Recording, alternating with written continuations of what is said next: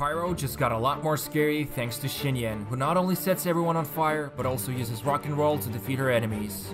Just like few other characters in the game, Xinyan comes equipped with a skill that provides a shield, and one of the most important things to understand about her shield is that it becomes more powerful if you can achieve the higher levels of it. When you activate her skill, she releases a small pyroblast around her that will level up her shield depending on the amount of enemies you hit. If it's no one or just one enemy, then you get the first level, and if you hit two enemies, you get the second level. Finally, you can achieve the third level by hitting three enemies. Now, the only difference between the first two levels is that the shield strength is bigger, meaning it can soak up more damage, but on the final level, your shield starts to emit pyro damage regularly. Luckily, the number of enemies you need to hit in order to level up your shield becomes smaller thanks to Xinyan's first passive talent, which basically allows you to get the third level of the shield by only hitting two enemies or more. So to simplify, activate the shield in front of as many enemies as possible and enjoy the most powerful version of the shield you can have. But keep in mind, the moment you use her skill, you will get a pyro status on her, similar to how Barbara gets wet status, so be careful of enemies, especially the ones that can trigger melt or vaporize on you. Now if that's not enough, Xinyan or anyone who's under her pyro shield will increase their physical damage by 15%, which makes characters like Razor very happy about it, and it's all thanks to her second passive talent. Finally, her elemental burst is one giant rock and roll performance where she will initially create a physical damage blast, followed up by a pyro explosion that sets enemies on fire. Now it's important to know that the physical portion of the damage is much higher than pyro, which acts more of as a utility, much like you would have Razor attack with these bursts where his claws deal additional electro damage. And as you can guess, if you want to have your burst deal more damage than usual, make sure you still have your shield active to use the additional physical damage increase. All in all, this rockstar comes blazing in with her burst, and she definitely doesn't feel like your typical damage dealer, and rather focuses on utilizing the defensive nature of shields as her weapon of choice.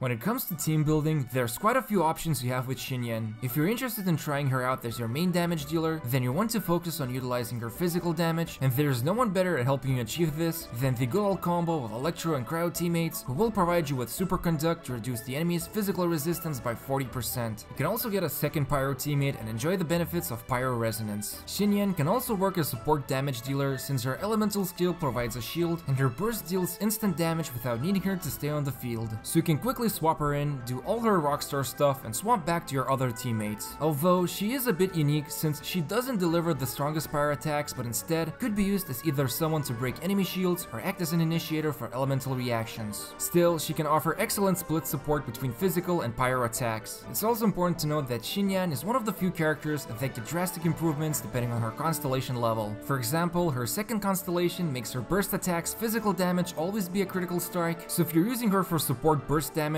you wouldn't have to worry about critical rating and focus on stacking her critical damage and attack instead. Now she also can reduce enemies physical resistance by 15% with her elemental skill once she gets to Constellation 4. But the biggest change she will have will be on Constellation level 6. Her charged attacks will consume less stamina and she gets additional boosts in damage from her defense stat. And the only other thing that defense boosts is her shield strength, making her into an interesting damage dealer that focuses on spinning charged attacks. Also, if you're interested to discover more team builds as we keep testing Xinyan, make sure to follow us on Twitter, link in the description. Now with the release of Xinyan comes the Unforged Claymore, and this is definitely one of the most coolest looking weapons available in the game, and it's no surprise it's almost handcrafted for Xinyan. Although characters like Noelle could also find it useful, and in fact, since we're getting quite a few characters that provide shield for their teammates, any of the Claymore users can greatly benefit from this weapon as well. And as for Xinyan, this is an excellent weapon to have, and it only makes her all attacks stronger, although there are still good alternatives out there, like the prototype Aminus or even White Blind. And one weapon that works especially well on her is the Serpent Spine from the Battle Pass, since if she's going to be the main damage dealer, her shield will keep her safe from getting damage and not losing the buff from the weapon. So to keep it short, Xinyan works both really well as main damage dealer and support, especially if you can get her second constellation unlocked or even better, the fourth one, but even without the constellations, she's still a very fearsome foe for many, and the unique nature of utilizing physical damage, not only with her basic attacks but also with her burst, puts her in a very strong position.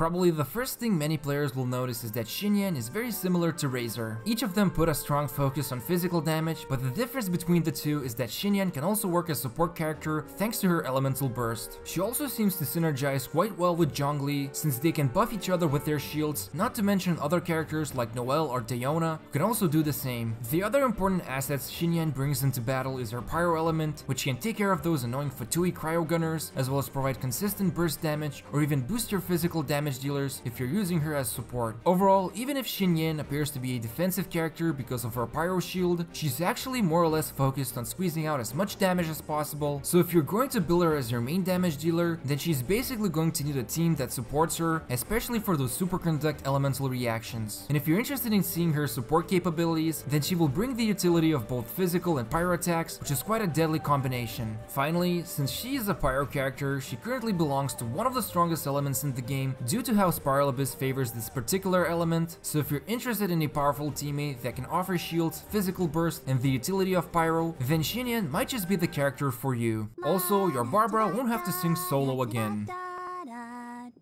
Enjoyed the video? Make sure to subscribe and hit the bell notification on, as well as gently press the like button. Also, check out more of our videos recommended for you and follow us on Twitter for up-to-date news. Thank you for watching us.